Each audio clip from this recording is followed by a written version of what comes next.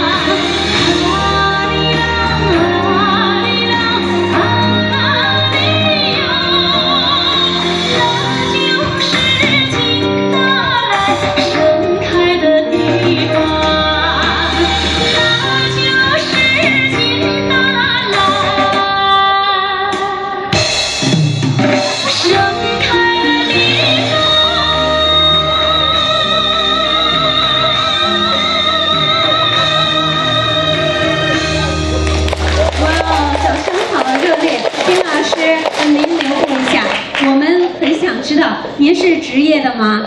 不是，我是业余的。哦，业余的，您怎么想起来要选这个舞蹈呢？啊，我觉得呢，就是我们中国有很多的民族，有五十六个民族，那么我们可以跳汉族舞，也可以跳一些少数民族，这个就是朝鲜族。那您，我觉得他朝鲜舞族舞那个动动作，这个对对对对，您能跟我们分解一下这个动作吗？解一下。今天舞蹈是我们要看看它的精髓是怎么怎么做那个动作。朝鲜舞的特色。他的手呢是这样的，他的手呢就好像很自然的抽烟手一样，加抽烟手啊，他就是这样的，就是一般的呢就是呃他呃那个曲子呢多数都是三四拍的，啊三四拍的拍子，所以呢跳起来呢就是嘣的，嘣这样。哎呀，丁老师，您不知道您跳舞的时候有多美，是不是？而且您的笑容实在太迷人了，非常的亲民，您的动作真的好迷人，好喜欢看您跳舞。谢谢谢谢，大家再次给热烈的掌声给丁老师，谢谢谢谢您的分享，谢谢。谢谢您。我们今天晚上还有继续的节目很多哈。刚才我们欣赏了这个，看来这个广场舞和我们理解的那个广场舞是不一样的哈，也开了一个眼界。那。